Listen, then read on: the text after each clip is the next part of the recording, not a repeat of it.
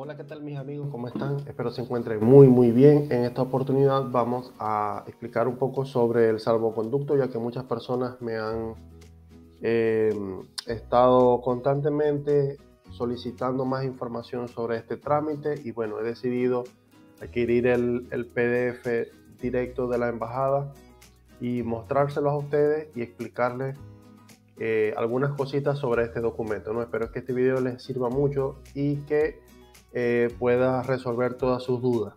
Para todas aquellas personas que son nuevas en el canal, les invito a suscribirse y a darle un me gusta al video. Comenzamos.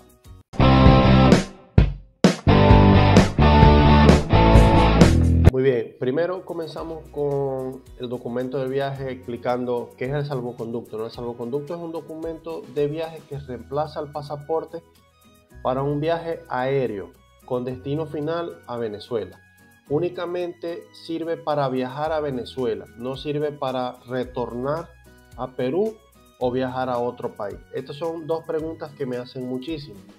Las personas piensan que con un salvoconducto pueden ir y regresar, deben ir, pueden ir a Venezuela y regresar a Perú sin ningún problema. Y aquí, bueno, estamos viendo que solo sirve para ir a Venezuela. Para poder salir de Venezuela necesitan un pasaporte vigente.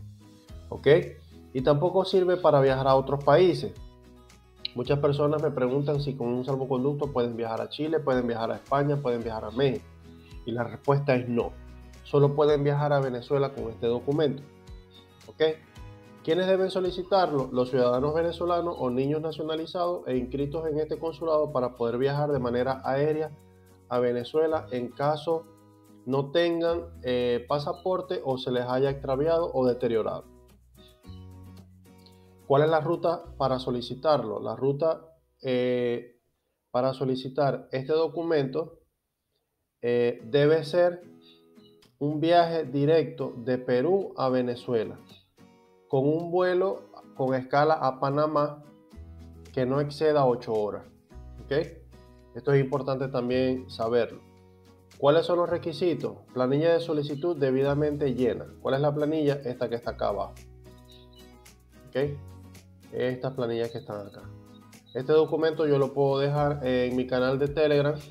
Se pueden unir, abajo voy a dejar el link para que ustedes puedan adquirir este documento y puedan leer ustedes mismos esta información y puedan llenarlo. Eh, una carta simple dirigida al consulado explicando su solicitud y su, y su situación migratoria en Perú. Dos copias de cédula de identidad. En caso de que no tengan el físico, pueden presentar una copia de la denuncia. También se necesita una copia de la tarjeta andina, carnet de extranjería, permiso temporal de permanencia, CPP, eh, una de estas, ¿ok? Una de estas, no deben tener todo. Con una de estas es suficiente. Dos fotos tipo pasaporte y en caso de niños, dos copias del acta de nacimiento venezolana y dos copias de los pasaportes venezolanos de cada padre. ¿Ok? Cédula de identidad o, pasaporte en caso que posea.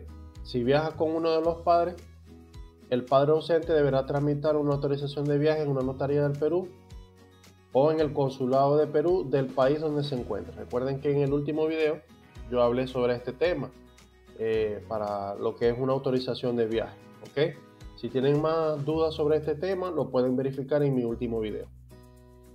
Muy bien, muy bien. En caso de tener doble nacionalidad y haber entrado a Perú con un documento de identidad extranjero, especificar ello en la carta explicativa y presentar una copia del documento y los sellos de entrada a Perú. Una copia del boleto de viaje. ¿okay? Y el monto del arancel consular correspondiente a 50 dólares en efectivo y un monto exacto. En caso de niños y niñas, están exentos del el arancel, es decir, que para los niños es totalmente gratis. De haber entrado de manera irregular a Perú o de tener el pasaporte venezolano, pero no los sellos de entrada, se sugieren contactarnos vía telefónica o mensaje de WhatsApp para una mejor orientación. Recuerden que en la embajada hay una serie de teléfonos donde ustedes pueden escribir para orientación. ¿Cuál es el procedimiento del trámite? Deben presentarse en la embajada de, Venezuela en Perú, en la avenida Arequipa, eh, de lunes a viernes de 9 de la mañana a 12 del mediodía. ¿ok?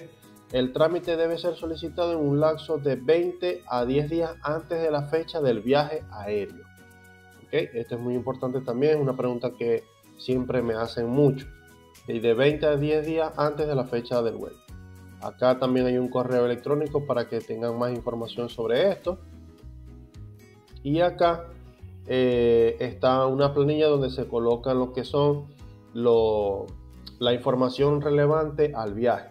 Nombre, apellido, lugar de nacimiento, número de pasaporte, eh, sexo, estado civil, profesión, la fecha del viaje, la aerolínea, el número del vuelo, eh, con quién va acompañado y todo ese tipo de cosas se colocan acá, ¿ok? En esta, en planilla que estamos viendo en este momento. También hay unas especificaciones, ¿ok? Que ya yo las mencioné. Acá están nuevamente. Eh, solicitud del trámite consular. Yo colocan su nombre, venezolano, portador de la cédula tal, fecha de nacimiento tal. Eh, esto es en caso de solicitantes de refugio, ¿ok? Lo pueden hacer también, es un proceso sumamente sencillo. Y acá completan la información colocando su, su firma, número de teléfono, correo y huellas de pulgares. ¿Ok? Como ven, es un procedimiento eh, sencillo, fácil de llenar. Y acá están todas las especificaciones que ustedes necesitan para poder hacer este trámite. Como ya les comenté, si desean más información sobre esto, me pueden escribir a mi, canal de Telegram para yo pasarle esta planilla y ustedes puedan leer con más calma todo esto y poder, y poder ir reuniendo los requisitos necesarios que ya yo les mencioné hasta que ustedes los tengan todos y lo puedan presentar de forma directa en la Embajada de Venezuela acá en Perú. Eh, espero que les haya gustado mucho este video. Si tienen algún tipo de duda adicional, la pueden dejar en la caja de comentarios que yo con mucho gusto les voy a responder. Y eh, a través de mi canal de Telegram yo les puedo enviar esta información. Ok, así que esto ha sido todo por el momento. Espero que les haya gustado mucho el video. Recuerden suscribirse a las personas que son nuevas en el canal y darle un me gusta para que se siga expandiendo muchísimo más esta información. Nos vemos pronto con otro video. Hasta luego.